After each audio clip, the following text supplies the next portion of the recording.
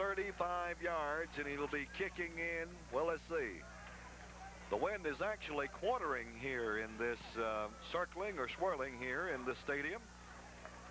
But he's going to try to put just a little draw on it here as the sidewinder does, and he kicks it high. It's certainly long enough, and it's good. And Presbyterian tacks three more on the board.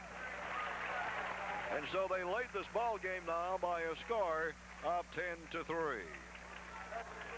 Presbyterian's offense getting cranked up here, but of course being stummered down at the 16-yard line just, just a bit ago on a delay call. So I'll tell you right now, that'll take you somewhat out of your game plan offensively, Coach. Well, Joe, they've had plenty of... Uh, Took them from third and short back to third and long. I was impressed with that ball was kicked through those uprights there. Plenty of leg on it, into the wind, like I mentioned, a swirling wind, but, you know, it's hard to dictate exactly where that ball's going to sail, but there was no doubt about that. So he kicked that ball straight through the uprights. That ball could have went for an extra 40, 40 yards there.